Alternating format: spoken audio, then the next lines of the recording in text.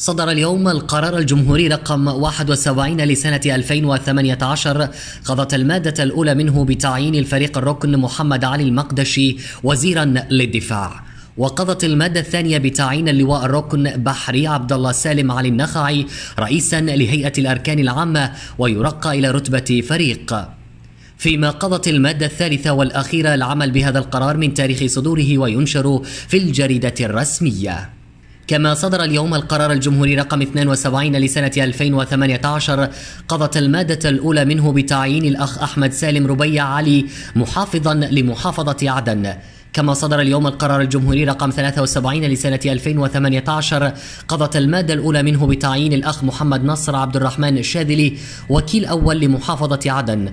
وقضت المادة الثانية من هذين القرارين العمل بهما من تاريخ صدورهما وينشر في الجريدة الرسمية.